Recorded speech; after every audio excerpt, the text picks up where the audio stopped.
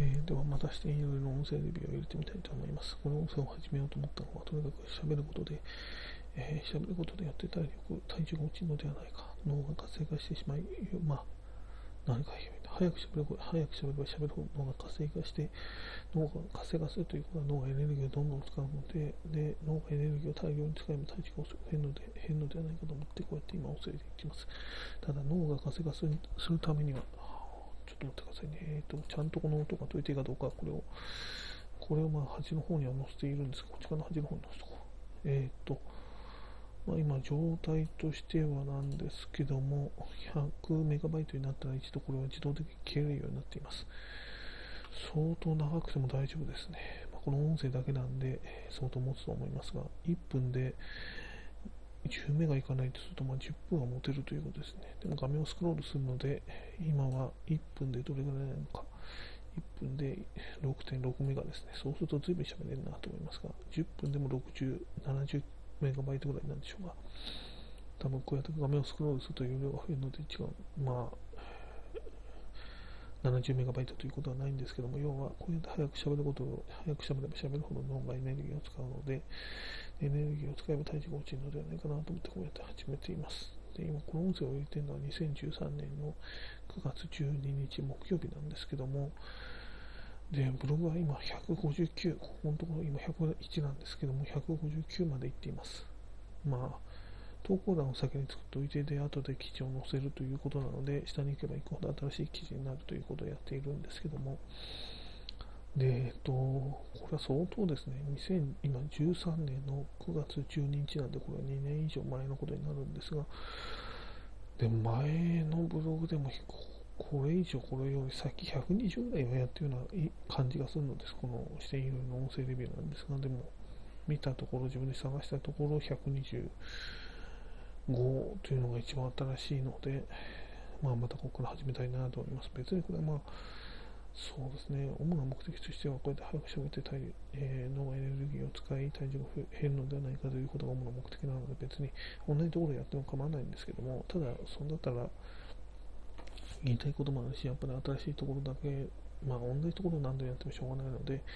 えー、新しく書いたところの音声レビューなどを載せてみたいなと思っているんですけども、まあ、とにかくそんなことを探しているとなかなか先に進まないので、とにかくやってみたいと思います。多分ダブっているところもあるかもしれませんが、えー、ダブっているところは多分あったなと思います。自分の気持ちとしては、まあ、思っている感情としては、感情というか、記憶の中ではこの、えー、前のページとか今101なんですけども、このページは本当は100 20ぐらい、まあさっきも言いましたけど、120ぐらいは終わっていて、131ぐらいまではやっていたような気がするんですが、ただその動画が見つからないので、というかこうやってやっていこうと思います。で、えー、今はさっきまで扇風機をつけていたんですけども、扇風機の風の音でマイクのところに風が当たってその雑音が入ってしまうので、ままあ、扇風機を消して今こうやって音声を喋っていますが、扇風機を消す本当に安いなと思いましても、9月の12日、2013年の9月の12日なんですけども、えー、11日は随分曇りで関東地方なんですけども、温度が29度とか最高気温が29度、28度だったんですけども、今日は、プラス5度とか書いてあったんですけども、じゃあそうすると昨日が26度で、今日の最高気温が天気予報が31度なので、31度なので、プラス5度とかいうので、昨日は本当は26度ぐらいだったのかなと思いますが、ではまあ早速ここから音声を入れてみたいと思います。こうやって画面をスクロールして載せてみたいと思うんですけども、もうこの2011年の5月25日水曜日の現状報告なんですけども、何を書いたのかについては全く覚えてないですね。少し覚えていた音声レベルで、えー、書き足りなかったことを補助するということは、まあ主な目的というか、まあその、